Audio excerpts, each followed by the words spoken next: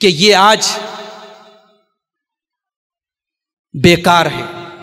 इनके पास कोई काम नहीं है। कितने हमारे नौजवान उनसे पूछो, क्या करते हो? कुछ नहीं करते। कितनी बड़ी तादाद ऐसे लोगों की है जिनका काम यह है कि कोई काम नहीं है। मुसलमान कभी बेकार नहीं होता। और मैं यहाँ पर एक बात और कहना चाहता हूँ। धंधा करो, बिज़नेस करो बंबई को कहा जाता है हिंदुस्तान की बिज़नेस कैपिटल हिंदुस्तान की तजारती राजधानी। बंबई से ज़्यादा कारोबार शायद ही हिंदुस्तान के किसी शहर में हो। मगर अल्लाह ने हलाल के बेशुमार रास्ते रखे हैं। हराम की तो एक छोटी सी लिस्ट है। हराम लिमिटेड है और हलाल अनलिमिटेड है। हलाल काम करो, हलाल काम करो, बेकार न बनो मेरे भाइयों। ऐसी कंपनियों के पीछे मत पड़ो।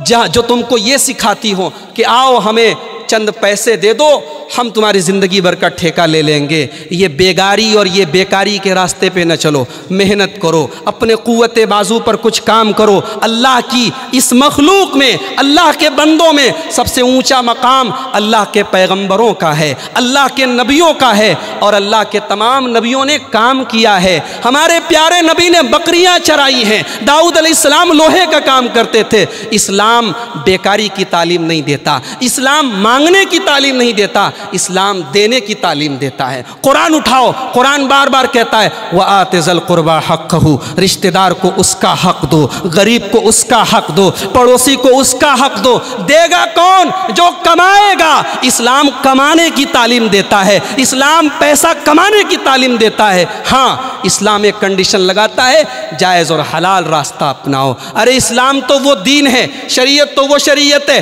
कि जुमा के दिन जुमा की नमाज़ पढ़ने के बाद अल्लाह कहता है फ़ैज़ा खुजियतलातु फ़न तशरू फ़िल अर्दी वबतगू मिन फ़जलिल्ला जुमा की नमाज़ हो गई, सुन्नतें पढ़ ली, इबादत से फारिग हो गए तो घर आके आराम मत करो। निकल जाओ अपने काम में। अल्लाह की ज़मीन में फैल जाओ, अपनी रोज़ी रोटी में लग जाओ। तो हमारे नौजवान बेकार हैं और बेकारी की वजह से भी बहुत सारे जराइम और क्राइम्स हमारे समाज में बढ़ते हैं। एक आखिरी चीज़ बयान करके बात ख़त्म करूँगा। कि ये जो तबाही आज हमारे नौजवानों को घेरे हुए है, इसका इलाज क्या है, इसका हल क्या है?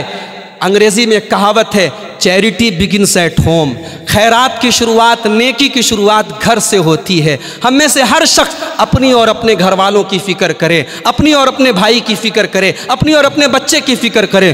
कु अनफुसकुम व अहली कुम नारा। अपने आप को और अपने घर वालों को जहन्नम की आग से बचाओ। यही पैगाम आज की इस दावत हक कॉन्फ्रेंस के प्लेटफॉर्म से मैं आपको देता हूँ। अल्लाह से दुआ है, अल्लाह हमारे नौजवानों को हर किस्म की बुराई से महफूज रखे। अल्लाह हमारे नौजवानों को उम्मत के लिए मुफीद और कारामत बनाए। अल्लाह हमारे वो नौजवान जो किसी किस्म की नशे के आदि हैं, नशे की लत है, अल्लाह उनकी इस लत को दूर करके उन्हें नेक और साले बना दे। अल्लाह हम सब के दीन व ईमान की हिफाजत फरमाए। अल्लाह हमारे ओलमाए हक़ की हिफाजत फरमाए। अल्लाह आज के हमारे इस प्रोग्राम में आने जाने को कबूल फरमाए। अल्लाह हमारे वतन की, हमारे मुल्क की हिफाजत फरमाए। हमारे मुल्क की के अमन और सुकून को जो लोग ख़त्म करना चाहते हैं, अल्लाह ऐसी ताकतों को नाकाम कर दे। रब्बुल आलमीन, हमारे हमारे इस मनहज और इस मसलक को, किताब सुन्नत की इस दावत को गाँव गाँव शहर शहर नगर नगर गली गली चप्पे चप्पे तक हमें पहुँचाने की तौफ़ी अता फ़रमाए। रब्बुल आलमीन, हमारी ख़वातीन और माओ बहनों को भी इस्लामी शर्म हया और इस्लामी पर्दे का पासदार बना दे।